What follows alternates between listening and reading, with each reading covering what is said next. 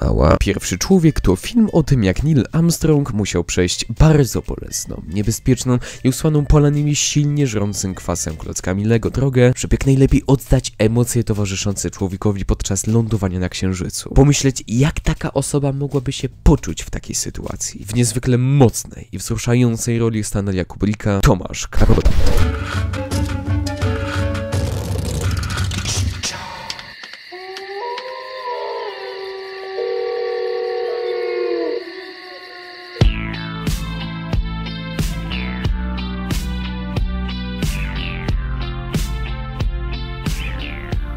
Przerwie pomiędzy jesiennym patrzeniem na to, jak ten ponury krajobraz staje się wiarygodną wymówką na niewychodzenie z domu i nadrabianiem Daredevila, Bojacka, Sabriny oraz Sierra Burgess rzeczywiście jest przegrywem, postanowiłem w końcu pójść na jakiś porządny film, żeby się oddać swego rodzaju detoksowi. A nie było lepszego momentu na taki oto odpoczynek, niż seans najnowszego filmu Dajmie na czasę.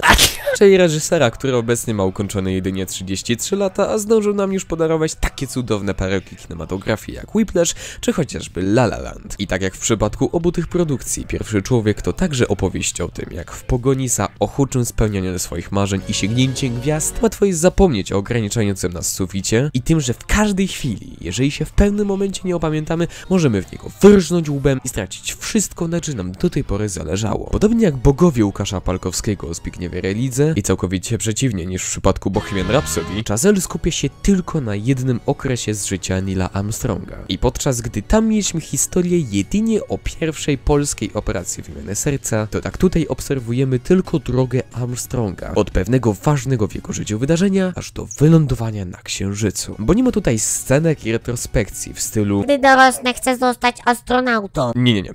Film rozpoczyna się sceną w okresie życia Nila, w której opanował on już latanie do tego stopnia, że gdy przez przypadek wylatuje on ponad ziemską atmosferę podczas testowania nowego samolotu doświadczalnego o napędzie rakietowym, udaje mu się cudem wylądować nim na Ziemi. To idzie. Już w pierwszej scenie Chazelle daje nam do zrozumienia, jak będą nam przedstawiane loty w rakietach kosmicznych w tymże filmie. Poprzez umieszczone w ciasnych kokpitach i zajebiście trzęsące się kamery, które zamiast pokazywać majestat i piękno nieodkrytego jak dotąd wszechświata, objawiają nam drugie dno lotów kosmicznych. Że żeby błogo wyruszyć i odkrywać nieznane, trzeba najpierw przejść prawdziwe piekło. Nauka fizyki rakietowej, wytrzymywanie miażdżącego przeciążenia i ogromnego stresu, plus jeszcze przeżycie w tej metalowej puszce, w której nie masz prawa się czuć jakkolwiek bezpiecznie, bo może się w niej spieprzyć absolutnie wszystko. I czasem będziesz miał szansę naprawić szybko jakąś usterkę i szczęśliwym zrządzeniem losu nie dać się zabić w tejże cudownej, ale jakże okrutnej, śmiertelnie niebezpiecznej próżni. A czasem kompletnie nic nie możesz na nią poradzić. I pewny możesz być wtedy tylko jednej rzeczy. Że zginiesz w męczarniach. Kamera najczęściej się skupia na spoconej, przerażonej, przestraszonej, ale niebywale skoncentrowanej twarzy Ryana Goslinga. Skoncentrowanej na tym, żeby tylko, broń Boże, wykonać daną misję. Żeby tylko mu się to udało. Żeby tylko podołać. Żeby tylko postawić na swoim. Nie ma tu żadnego patosu. Nie ma tu wymachiwania amerykańską flagą w imię pokazania, jak bardzo to Stany Zjednoczone nie były zajebiste, że aż musieli polecieć na pieprzony księżyc, żeby żaden płuc nie śmiał mieć już jakichkolwiek złudzeń. Jeżeli już się tutaj pojawia jakieś wymachiwanie flagą, to tylko po to, żeby pokazać, jak bardzo Ameryka chciała udowodnić, że miała większą pałę od tych czerwonych szmaciarzy. Jak to idealnie ujął Łukasz Muszyński w swojej recenzji pierwszego człowieka, Stany Zjednoczone i Związek Radziecki prowadzą zimną wojnę, a jednym z jej kluczowych frontów jest kosmos. Po prostu w punkt. W grę wchodzi tylko najwyższe poświęcenie. Nawet jeżeli ma to oznaczać poświęcenie czegoś życia. Nila spotyka tragedia w życiu prywatnym, bowiem jego córka umiera na raka. Nie, Patty, znowu spoilerujesz te filmy, psujesz zabawę innych! Uwaga, spoiler! W ostatecznej konfrontacji z Thanosem, Batman i Bill Cosby umierają, a Neil w końcu ląduje na księżycu. Uwaga, spoiler, ląduje na księżycu! Utrata córeczki okaże się zarówno napędem dla jego coraz to kolejnych odkryć i coraz to dalszego przesuwania granicy, jak i pierwszym krokiem na drodze do odsuwania wszystkich jego bliskich od siebie. Pierwszy człowiek to żadna propaganda, ani laurka na cześć jedynego słusznego narodu!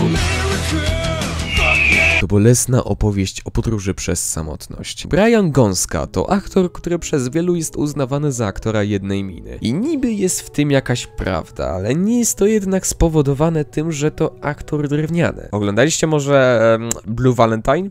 albo nie wiem, y, La La Land, Nice Guys, rola dramatyczna, musical i komedia. Koleś utalentowany. Wy chyba tego Drive'a obejrzeliście i to tylko tak przelotnie, jednym i do tego na wpół przymkniętym okiem w stanie totalnej katatonii. I owszem, tu też nie wychodzi poza swój standardowy zestaw min, ale nie zmienia to faktu, że to jednak aktor zdolny, który i tutaj wyciska ze swojego zestawu ostatnie soki. Wiecie, trudno oczekiwać widowiska i kolorowych fajerwerków po roli człowieka pogrążonego w depresji i smutku. Można jedynie oczekiwać festiwalu spuszczonej miny i bycia cichym i zamkniętym w stosunku do innych. A to też trzeba wiarygodnie zagrać, przyznacie szczerze. A Ryan wyszedł z tej próby zwycięsko. Neil Armstrong w jego wykonaniu to bohater, którego działanie przyjdzie nam niejednokrotnie kwestionować podczas seansu, bo czasem zachowuje się on jak przykładny mąż i ojciec, a czasem myśl o tym, że uda mu się dotrzeć na ten zakichany księżyc, przesłania mu to, na czym mu tak naprawdę powinno zależeć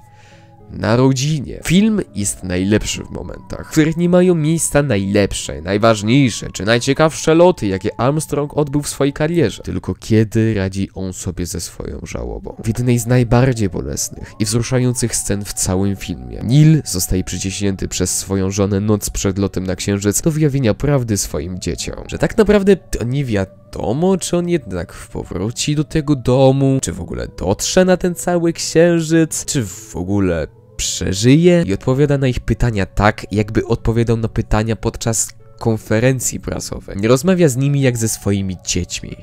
Tylko jak z dziennikarzami. To nie laurka dla Armstronga. Chazelle nie boi się pokazywać jego słabości, nie boi się pokazywać go jako. Nie pokazuje nawet sceny wbijania amerykańskiej flagi w powierzchnię księżyca, bo to nie jest historia o tym. To nie jest historia o tym, jak to Amerykanie zdobyli kosmos. Jak to oni bohatersko wyruszyli na ten księżyc i go zagarnęli dla siebie. Co wy na to, you fucking communist scum? Tylko o tym, jak ambicja może z czasem przerodzić się w obsesję. Spełnienie marzeń trzeba okupić masą nieprzyjemnych kompromisów oraz, że depresja i tęsknota za bliskimi ci osobami przysłoni ci radość z wylądowania na pieprzonym księżycu. To jest amerykański film biograficzny, a nie ma w nim ani grama potosu. Co się tu dzieje? Jednak mimo faktu, że Gąska odwalił kapitalną robotę, to na miano najlepszej roli w całym filmie bezapelacyjnie zasługuje Claire Foy w roli Janet Armstrong. Twardej babki, która pod nieobecność pana domu sama musi się zająć domowym ogniskiem i udawać przed dzieciakami, że wszystko jest w jak najlepszym porządeczku. Foy fantastycznie odnajduje się w roli kobiety, która obserwuje, jak człowiek, którego kocha, zaczyna powoli zanikać na jej oczach, jak smutek powoli go pożera, a mimo to wciąż stara się robić dobrą minę do złej gry, nie poddawać się, odnajdywać nadzieję. I mam szczególną słabość do aktorów i aktorek, którym się udaje znakomicie podrobić czyjś akcent. Claire gra.